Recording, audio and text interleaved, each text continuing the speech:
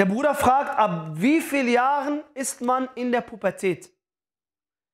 Erstmal geht man nicht von den Jahren aus, sondern man geht von bestimmten Sachen aus, die sich verändern am Körper des Menschen. Beim Jungen und beim Mädchen gleich ist es so, sobald Haare an den Achseln und im Schambereich wachsen, hat man die Pubertät erreicht. Und sobald man feuchte Träume bekommt, ob Junge oder Mädchen, hat man die Pubertät erreicht. Und beim Mädchen kommt noch dazu, dass wenn sie die Monatsblutung hat, hat sie die Pubertät erreicht.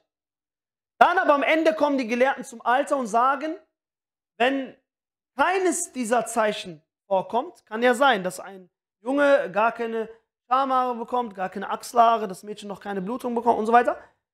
So sagen sie, ist spätestens ab 15 Jahren die Pubertät erreicht worden. Also ab 15 spricht man von einem pubertierenden Jungen, von einer pubertierenden Schwester und schaut dann nicht mehr, ob derjenige ja, das oder das oder das hat, sondern man sagt dann, okay, ab 15 Jahren hat man die Pubertät erreicht.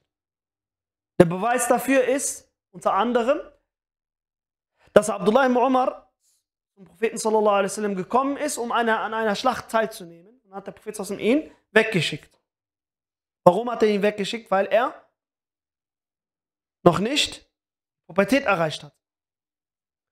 Dann sagte Abdullah ibn Umar, als ich dann 15 Jahre alt geworden bin, kam ich nochmal zum Propheten sallallahu alaihi wasallam und dann hat er mich aufgenommen für den Kampf. Und hier sagen die Gelehrten, das ist ein Beweis, dafür, dass man ab 15 Jahren die Pubertät erreicht hat. Wallahu a'lam.